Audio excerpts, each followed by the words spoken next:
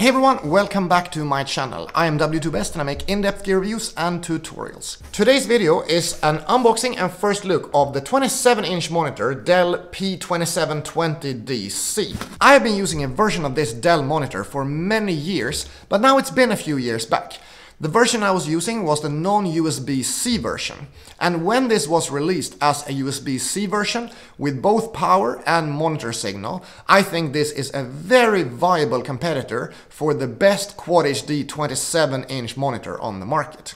So now when I have the opportunity to get another monitor for my office, I feel like it's the perfect opportunity to check out some of Dell's 27-inch offerings and not only stick with 25-inch as I've been doing for the past two years. If you have any questions, I am available down in the comment section below and I'm usually very quick to reply. And if you want to buy the product, you can find links in the description below. And I'm sorry for being very slow in producing videos right now. I have simply had so much other things to work on, so many practical things to work through, as well as having a pretty emotionally taxing time in the beginning of 2022, that YouTube hasn't been the biggest priority for me during this year. Let's dive into the unboxing and see what is in this guy. Alright, let's get right into unboxing this thing and setting it up here on one of the desks in my office. Setting up a Dell screen is usually a very straightforward process.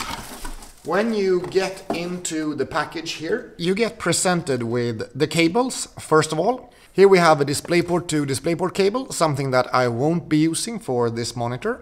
Next up, we have the Magic cable, the USB-C to USB-C cable.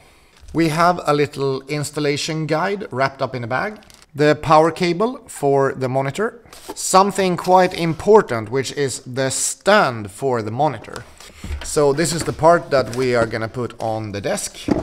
And then we have the arm that holds the monitor in place. Lifting up this protective material here, that's where we have the actual monitor, which is nicely wrapped up with this uh, protective layer and I'm gonna have to get this out and get rid of the box so that we can continue the setup process. The first thing to assemble here is the foot and the stand that will hold the monitor in place. And this is very straightforward, but I want to show you the process regardless. This one just locks into place like that, but when you put it in place, it's gonna feel very, very unstable. And this is because you have one mounting screw in the bottom that you need to screw all the way in and then fold it in so that it can lay flat against the desk. Once we have this locked in place, the monitor arm is fully assembled and we're ready to slot the actual monitor on. The way we click the monitor in place is also quite straightforward.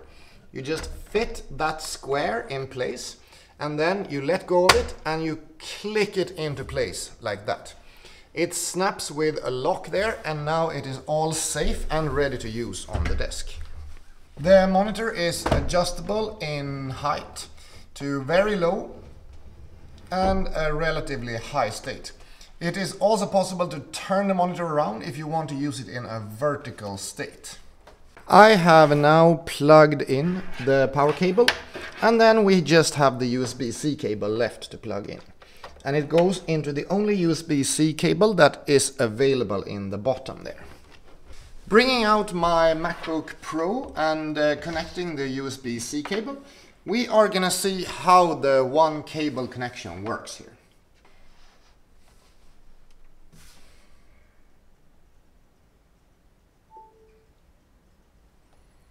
The laptop is taking charge.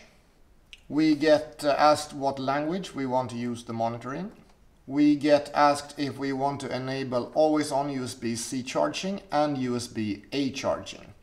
I want USB-C charging to be always on. It's very much a handy feature when plugging in the phone, for example, to charge it through the screen, even when not using the actual screen features. Then we get right into the monitor being used as our secondary monitor here. This is looking really good. The resolution is very crisp and I really like the star setting both with the colors of this monitor, the resolution of it and the brightness of it. It is just the kind of level that I want with my monitors. The only thing I really need to adjust at this point is the position of the screen. Since I'm right now using the laptop below the screen. And this is not my most common use case, but when I'm with one of these other desks, I feel like it's nice to be able to use my laptop keyboard, my laptop trackpad, and not have to have the external stuff like I do when I have uh, the laptop placed on the left side like I do on my main desk. And then we have the monitor working as you can see there. I'm gonna have a quick look at the settings here just to see if we can have even more brightness from this. And we can for sure. There is now a 75% brightness setting. Um, let's see how it is when we crank it up a little bit. All right, that's pretty fair brightness level. It's not too much. I'm gonna set it back down to around 70%, I think, which feels like a right thing. The contrast is also set to 75% from the start, and I'm gonna keep it there for the time being. On top of that, we have the opportunity to do some color changes. We have different preset modes. We have some display changes, which is sharpness, aspect ratio, response time, MST, which is very important if you want to use a second monitor and daisy chain. The setting is here, it need to be switched on for daisy chaining to actually work. Then we have USB-C prioritization, which is set to high-speed data. We have uh, language settings, transparency, timer, lock. We have some personalized settings and some other settings, which is not something very important for me at this point at least. I'm gonna have to say that the size difference is significant with this compared to my 25 inchers that I've been using for most of the past two years. Uh, but I think I could get used to this. And uh, I really see the potential to run two separate documents or separate websites at the same time with this kind of monitor size. It works, of course, with the 25 inch as well, but we just get a little bit more screen real estate with this setup. I will of course make a very in-depth review of this product when I have spent a few weeks time using it as one of my main monitors in the office. That is it for my unboxing and first look of the Dell P2720DC. The first 27-inch monitor that I will be using for my desk setups in a long time.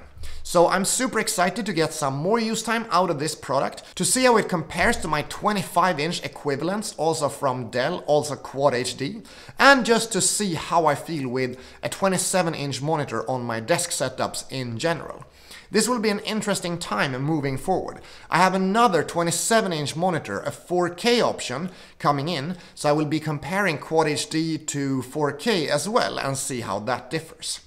If you want to stay tuned for all that content, please subscribe to the channel. And as always, I will see you in the next video. Have a nice day. Bye bye.